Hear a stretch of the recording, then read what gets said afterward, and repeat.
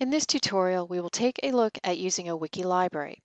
Wikis are great for collecting, sharing, and communicating ideas and knowledge.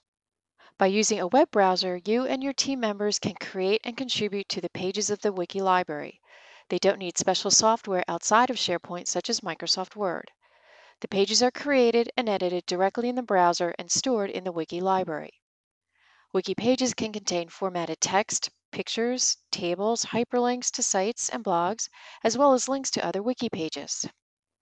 In this demonstration, I will create a wiki library on the training site to organize and collect information for developing a SharePoint training course for our employees. There will be several people at different levels contributing ideas and content for the manual. All contributors to the manual will have the necessary permission to add and update information in this wiki. The first step is to create the wiki library. Since the training department will be using the wiki, I will create it on the training site. Then I'll click on Site Actions, View All Site Content. Then towards the top of the page, I'll click Create. This displays a list of all the different types of content you can create on a site. To narrow down the list, click on Library on the left to display the different library types, and then I'll select Wiki Library. Then over on the right, I'll enter the name for my new wiki library. Then I'll click on More Options. So again, I see the name I gave my wiki library, and then I'll type in a description for this library. And the last question asks if I want to display a link to this wiki library in the quick launch. The default is yes, and I do want that, so I'll leave that at yes and select Create.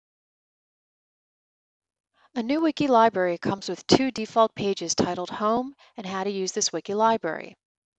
When you first create a wiki library, the home page is displayed as indicated on the breadcrumb trail at the top. Initially, the home page contains information about using a wiki library.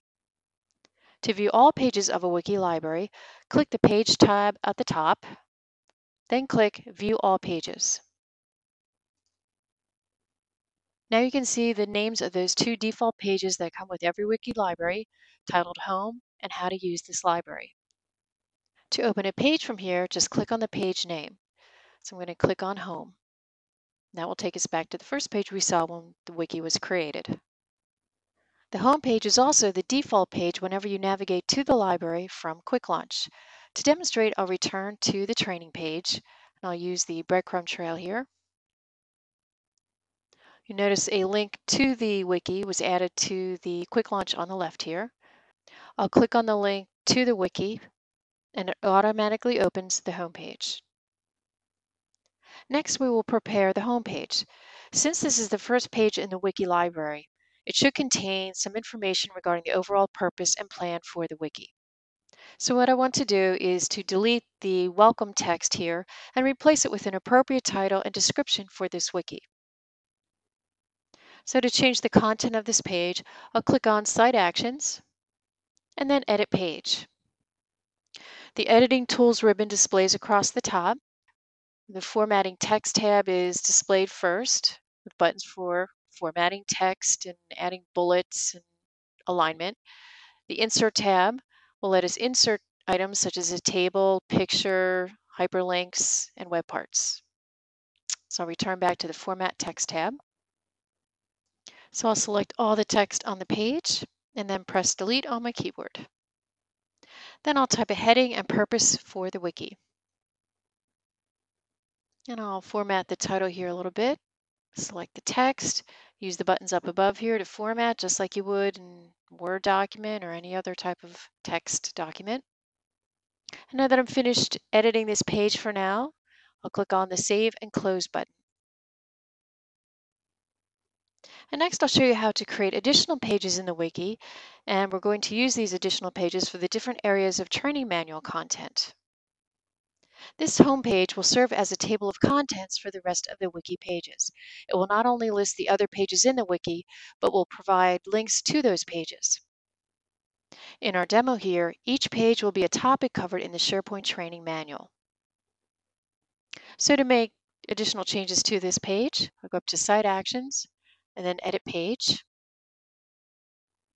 And I'm going to add these links to these other pages below the description. So I'll click at the end of the description text and just enter down two lines. So I'll enter the link for the new page called Site Navigation, and that's entered inside of double square brackets. And you can see as I'm typing, it's telling me that item does not exist, meaning that page does not exist yet. So I'll enter a few more page names that I know I will need. Okay, so I finished entering the titles of the pages that I want to create. When finished editing the page, I just click the Save and Close button. The page names that had brackets around them appear with dotted underlines. That indicates that they are links to pages that have not yet been created. To create a new page from the title, just click on the link. So I'll click on the first link here for site navigation. The new page dialog box displays telling me this page will be created in the SharePoint Manual Development Library. And a page name Site Navigation does not exist. Do I want to create it? So yes, I'll select the Create button. And that takes me to a new wiki page named Site Navigation.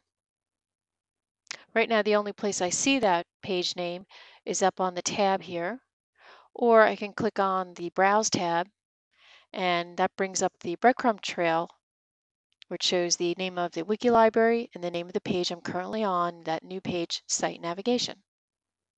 So the wiki content area right here is where I enter my text, pictures, or links for the document content. The first thing I want to do, however, is to provide a link to easily get back to the home page from this page.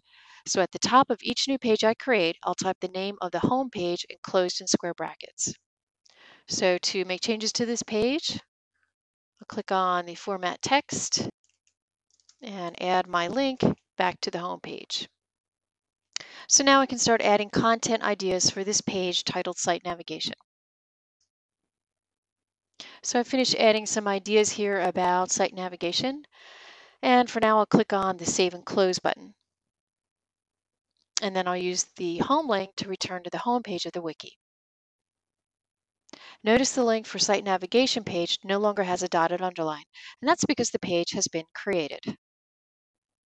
So if I want to continue editing the site navigation page, I simply click on the link to navigate to that page and then choose Site Actions, Edit Page. As pointed out earlier, when you're editing page, SharePoint provides you with a format text set of buttons and insert buttons. And what I'll demonstrate now is inserting a hyperlink. So first I want to position my cursor on the page where I want that hyperlink to appear and I want that below these bulleted list items. And I'll enter the words Google search. And then I would like this text to link to the Google search page. So I start by highlighting that text, click on the hyperlink button, and down in the address box, type in the URL to the Google search page. When finished providing the address, select OK to save. And now this text Google search is a hyperlink to the Google search page. So to save my page, I need to go back to the Format Text tab and click on Save and Close. And then I'll click on the home link to return to the wiki home page. So I'll quickly create the remaining pages here offline. So I finished creating pages for the remainder of the links here on the home page. So now the other contributors to this training manual will be able to come in and add content to the pages I've created, or they can go ahead and create new pages if they like. So as demonstrated, it is very easy to build and organize the pages of a wiki.